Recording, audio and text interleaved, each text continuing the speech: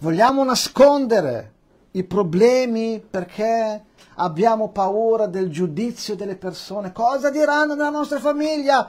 Ho una figlia che fra poco si deve sposare, non posso far vedere che ho un figlio che magari è problematico. Dobbiamo, mettiamo tutta la sporcizia sotto il tappeto, bisogna nascondere. Alla fin fine il tappeto si riempie di sporcizia e tutto viene fuori. Fino a quando possiamo vivere una recita perché gli altri pensino di noi bene, dobbiamo vivere bene interiormente, non dobbiamo avere paura del giudizio della persona. Ah, vedranno che io vado da psicologo, dal terapeuta a parlare, diranno che io sono matto.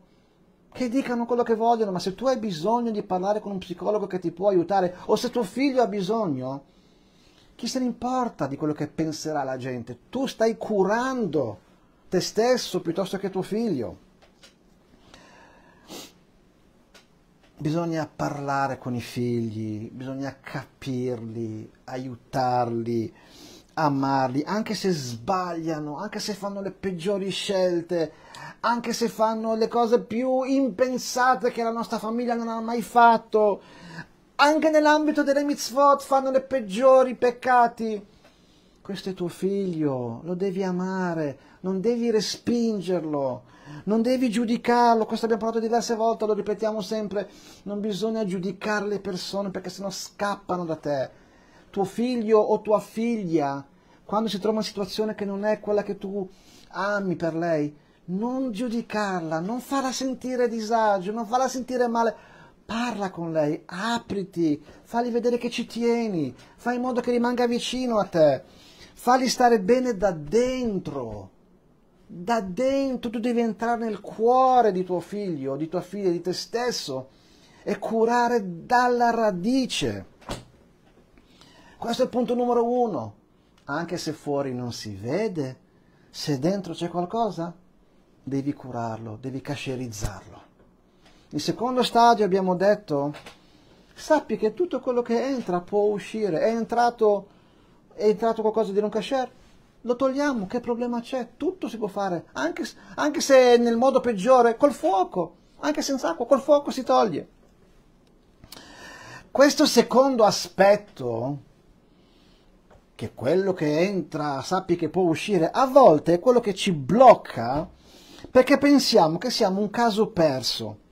A volte noi facciamo qualcosa di sbagliato, un peccato, una scelta sbagliata, quello che sia, facciamo cose sbagliate, diciamo, eh, basta, la mia vita è finita perché io ho fatto una scelta sbagliata, non potrò più tornare indietro. Viene attrice, no, no, è entrato, uscirà, è entrato un pezzo di maiale nella pentola, uscirà, cascerizzalo. Hai mangiato tu qualcosa di non casher? Lo tiri fuori hai fatto un comportamento non kasher, hai rubato, hai fatto qualsiasi cosa tu abbia fatto, abbia scelto, tutto quello che entra può uscire. C'è qualcosa di peggio per un ebreo della carne di maiale? No. Ma se in quella pentola qualcuno ha cucinato carne di maiale, io posso cucinare carne kasher se faccio il processo della kasherizzazione, se faccio uscire le molecole del maiale dalla pentola. Idem da me stesso. Anche se una persona ha mangiato maiale tutta la vita o, fatto, o si è comportato come un maiale, scusate, scusate l'espressione, non vuol dire che rimarrai così a vita. È entrato? È entrato. Uscirà. Perché Dio ha deciso che sia così. Quello che entra può uscire. Non sei nato male, attenzione. Non siamo nati male o non kasher. Il, il non kasher è entrato dopo. Il male che tu adesso stai vivendo ti è entrato dopo. E, e uscirà come è entrato uscire. Perciò non vuol dire che se io adesso ho fatto uno sbaglio è perché io sono sbagliato. No. Tutti noi nasciamo puri, candidi. Un bambino quando nasce è puro. Poi Col passare degli anni lui ingerisce situazioni negative, fa azioni negative. Questo vuol dire diventare un cashier e tornare ad essere cashier. Entra, il male è entrato, lo fai uscire. Sentite questa storia brevissima. Sapete, il rebbe di Breslev è un gruppo chassidico, adesso lui è mancato, Rabbi Nachman di Breslev, sicuramente conoscete. Una volta un suo seguace va da lui piangendo, Rabbi, Rabbi, ho distrutto la mia vita, cosa faccio adesso? E il rebbe gli risponde, se sei in grado di distruggere, sicuramente sei anche in grado di ricostruire. Cosa vieni qua a piangere, a essere disperato che hai distrutto la tua vita? Va bene, piangi, ok, dispera, ok. Adesso, dopo, cosa viene fuori? E rabbi risponde, se tu sei stato così forte da riuscire a distruggere qualcosa, sicuramente hai la forza anche di ricostruire qualcosa. Allora che problema c'è? Hai distrutto? Ripara, metterai a posto. Noi a volte pensiamo siamo un caso perso. Cosa diciamo la mattina quando ci svegliamo? Facciamo le preghiere. Elokai neshama shenatata bite orai. Diciamo Dio, l'anima che mi hai dato, tehorai è pura. Tu l'hai creata, tu me l'hai data, tu me l'hai soffiata dentro il corpo. Io sono lucente, io sono vita, perché ho divinità dentro il mio corpo. Ok? Allora, qua dice, come dicevo prima, noi siamo nati, un bambino quando nasce è puro, è sublime, è raggiante, perché quando nasciamo siamo divini. Poi col tempo sbagliamo strada, ma non vuol dire che l'essenza è storta, non vuol dire che l'essenza è maligna. Noi siamo umani, nasciamo puri, poi strada facendo sbagliamo. Abbiamo soltanto assorbito queste molecole di negatività durante la vita. C'è una storia, una storia. C'era un shidduch, una proposta di matrimonio tra i figli di due grandi maestri, due grandi chassidim, veramente due nomi di una volta molto molto grandi. Potete immaginare un matrimonio così, wow, figli di due grandi chassidim. I due uomini, i due papà si incontrano per discutere del matrimonio, non ancora del matrimonio, in generale chi, chi, sei tu, chi sono io, e sai, per parlare un po' delle cose come una volta si faceva. Oggi magari non si usa così, comunque nel, nel mondo chassidico ancora sì, ma comunque la storia fa che loro, questi due grandi tzadikim si incontrano per parlare. Arriva il primo e racconta di se stesso, racconta un po' i suoi avi, chi era suo papà, chi era suo nonno, finché arrivava la sua la genealogia fino al, al Baal Shem Tov, uh, grande, grande personaggio. Adesso lui chiede al suo potenziale consuocero e dimmi, raccontami invece tu chi sei, la tua famiglia, raccontami un po' chi siete, no? un po' le tue origini, un po' quello che in ebraico si chiama Ichus. L'altro dice, racconta che lui in realtà all'età di dieci anni, era lui un grande, un grande tzaddik anche lui, dice che lui a dieci anni, all'età di dieci anni ha perso i genitori, è rimasto orfano di padre e di madre, perciò dice io non so esattamente chi era mio padre, chi era mio nonno, non lo so. Io sono stato adottato in un certo senso, mi ha, mi ha cresciuto il sarto della città. Eh, posso dirti soltanto che io da lui, oltre a imparare a cucire i vestiti, ho imparato, lui mi ha insegnato due cose grandissime. Cosa? Dimmi, cosa ti ha insegnato il tuo mentore, il tuo sarto, il tuo patrigno? Lui dice, mi ha insegnato due cose importanti nella vita. Lui dice, nella vita, nel mestiere, ma ovviamente nella vita, dice, ripara il vecchio e stai attento a non rovinare il nuovo. E quando l'altro ha detto, ha sentito questa frase, ha detto, ah, questo Shidduch sicuramente, questo matrimonio sicuramente sa da fare. e i figli sono usciti e poi si sono sposati. Si sono conosciuti e hanno deciso che veramente potevano sposarsi. Ma andiamo un po' a capire questo insegnamento del sarto. Il sarto, tecnicamente, è uno che vesti, uh, prepara i vestiti, dice, impara, tutto quello che è vecchio non va buttato via, si può riparare. Se una giacca è strappata, è bucata, è consumata, un bravo sarto è capace in qualche modo di riparare quello che è vecchio. Nel frattempo, stai attento, quando hai una giacca nuova, un vestito nuovo, attento a non rovinarlo.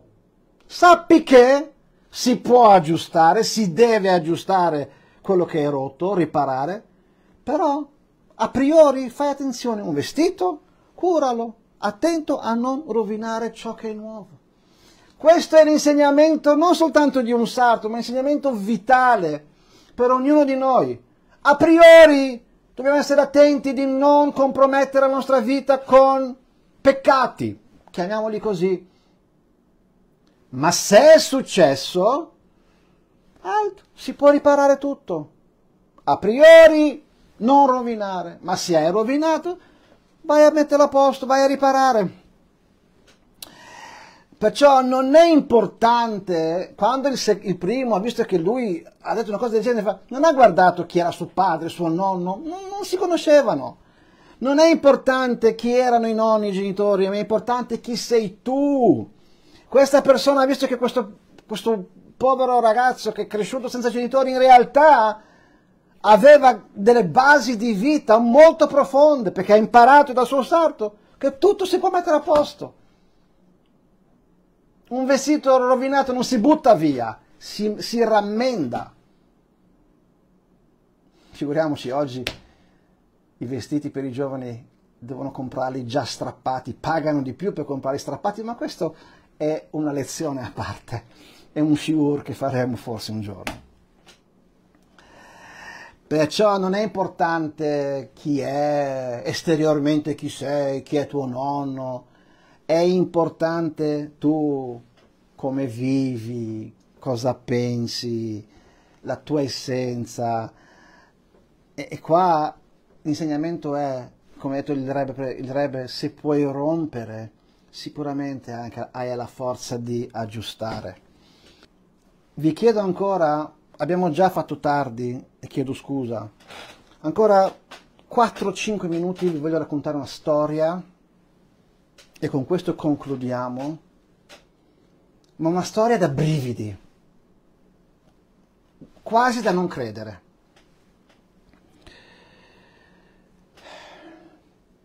Una persona va, storia dell'antichità, una persona è sposato da 18 anni e purtroppo non riescono ad avere figli. Lui va dal suo Rebbe, non Lubavitch, un altro Rebbe, un Tzaddik, va dal suo maestro e gli racconta, Rebbe, 18 anni, non abbiamo avuto un figlio. Il Rebbe gli chiede, dimmi una cosa, prova a pensare, forse tu hai offeso qualcuno, hai promesso qualcosa a qualcuno che non hai mantenuto, hai, hai recato un danno a qualcuno. Perché dice, sappi, molte volte le persone non riescono ad avere figli perché, avendo offeso qualcuno, l'offesa di quella persona, anche se lui non lo vuole fare apposta, rimane sulla vostra aura, rimane su di voi e blocca il masal, la buona fortuna. E molte volte blocca avere figli. Sono tante storie di persone che non riuscivano ad avere figli e poi hanno scoperto che dovevano chiedere scusa a qualcuno e poi hanno avuto figli. Lui va e, e, e il maestro gli dice, prova a pensare in tutta la tua vita, hai mai offeso, fatto del male a qualcuno, promesso una cosa che non hai mantenuto? Farebbe no, no, no. Poi gli viene in mente una cosa ma no, no. E Rebbe fa, no, no, no, no, raccontami. Cosa ti è venuto in mente? Ma Rebbe è una cosa stupida. Raccontami. E lui dice, eravamo bambini, 4, 5, 6 anni. E abitavamo in una certa città. C'era una bambina, la mia vicina di casa, che noi giocavamo insieme. E tutti dicevano, ah, questi due sicuramente... Un giorno, per gioco, io l'ho promesso, ok, ti sposerò. Ma Rebbe, avevo 5-6 anni, era un gioco da bambini. Dice, alt, per te era un gioco. Per lei? Sei sicuro che per lei era anche un gioco? Forse lei, da 20-30 anni fa, sta ancora aspettando che tu la sposi e lei sta soffrendo perché tu le hai promesso. Dice, Rebbe, cosa faccio? Io non so più questa ragazza chi è, dov'è, non la vedo da, da anni. E il Rebbe gli dice, vai nella città di Chelem, vai in una certa città e la troverai. Chelem vuol dire andare come a New York e trovare una ragazza ebrea che era ai miei vicini di casa. Ci sono milioni di ebrei. Vai e la troverai. Storia vera. Questo qui, Rebbe dice, prende e va. Va in questa città a cercare a vuoto, non sa dove. A un certo punto comincia a piovere, forte, forte, forte. E tutte le persone vanno a ripararsi sotto, chi sotto un tendone, chi, chi sotto a, a qualcosa. Pioveva di rotto. E lui va e si, e si ripara sotto una tenda, un ombrello, quello che è, un tendone. A un certo punto si sente un gomito che lo, lo tocca e lui schiva, si sposta e sente una voce che dice fino a quando vuoi scappare da me? Fino a quando mi vuoi schivare? Si gira e chi era questa, questa persona che parlava? Era la sua fidanzatina, la sua vicina di casa. Fino a quando scappi da me? Lui gli racconta la sua storia. Dice, 18 anni non ho figli. Il mio Rebbe mi ha mandato qui a cercarti per chiederti scusa. Ero bambino, non volevo farti soffrire. Non ci siamo più visti, non siamo state sono separate, tu hai fatto la tua vita, io la mia. Ti chiedo scusa se tu sei offesa da me per quella promessa, ti chiedo scusa, non volevo romperti il cuore. Però io ho bisogno che tu mi perdoni perché voglio avere dei figli. E la ragazza gli fa, non ti preoccupare, ti perdono. La storia non finisce.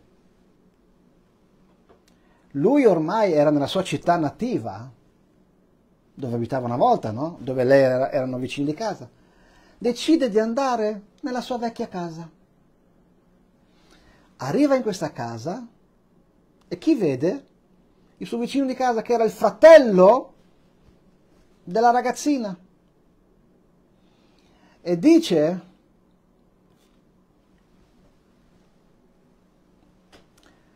ho appena visto tua sorella ti porto i suoi saluti e il fratello dice cosa? sei matto? no no l'ho appena parlato con lei sotto la pioggia papà dice lei è morta da 18 anni di cosa stai parlando?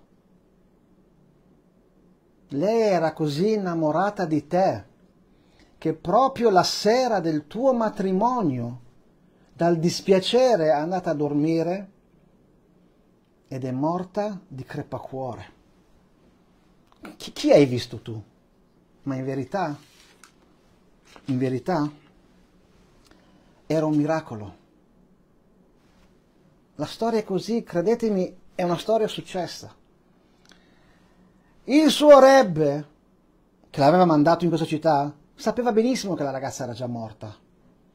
Ha fatto un miracolo, dal cielo hanno fatto un miracolo per, in, in, per metterlo in condizioni, in situazioni di chiedere scusa a questa ragazza qua. Perciò hanno fatto risuscitare un morto per qualche ora per farlo incontrare con lui affinché lui possa chiedere sinceramente scusa di una cosa fatta anche senza malinica, senza cattiveria. Spesso vogliamo scappare dalla verità, dalla nostra verità, da quello che noi veramente siamo, vogliamo scappare. Non ci piace. Dobbiamo avere coraggio di mettere a posto le situazioni e non ignorare. Lui addirittura è andato, ha viaggiato a lungo per andare a trovare quella ragazza e a mettere a posto dalla radice la situazione, perché suo rebbe gli ha detto questo è tua, il tuo modo di avere figli. E poi è successo, hanno avuto figli e vissero felici e contenti. Ma lui ha avuto il coraggio di andare 18 anni indietro, se non di più, trovare la ragazza, dal cielo hanno fatto un miracolo di farla trovare viva, però quello che lui ha fatto è, è andato indietro perché ha voluto mettere a posto. Così come entra, così esce. Psicoanalisi è incompleta. Il comportamento positivo anche incompleto. Quello che la Torah ti dice, sappi che se hai mangiato roba non kasher, come entra da te esce. Hai fatto cose negative, hai offeso, hai fatto cose brutte. Così come le hai fatte, così escono da te, ma tu devi essere capace di affrontare la tua verità, il tuo essere e non scappare da te stesso.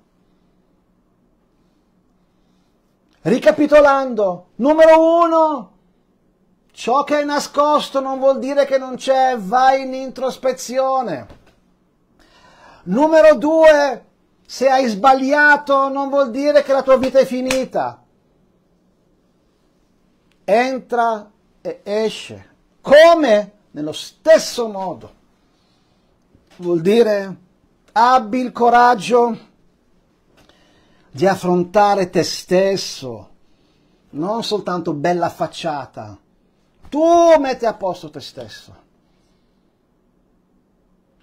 Non sei da buttare via. Dio ti ha creato con istinti animaleschi, con voglia di peccare. Non è disumano, al contrario, siamo umani. È disumano non avere istinti maligni, però dobbiamo trattenerci dobbiamo andare indietro a cercare e mettere a posto. Questo nessuno potrà mai rubarcelo. Mettere a posto ciò che abbiamo rotto. Questo sì, questo dobbiamo farlo.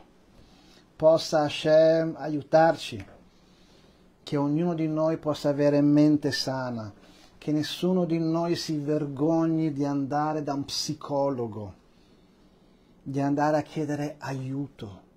Se vediamo che un bambino non sta bene, non sgridiamolo, non appesentiamo la sua vita. Vai da un psicologo, porta tuo figlio da un psicologo, qualcuno, il vicino di casa ti vedrà, ma chi se ne importa? L'importante è che mio figlio guarisca. L'importante è che io stia bene, che mio marito stia bene, che chi sta male stia bene. Andare dentro e dire avere l'umiltà di dire ho sbagliato, ma so che Dio mi dà sempre la possibilità di mettere a posto.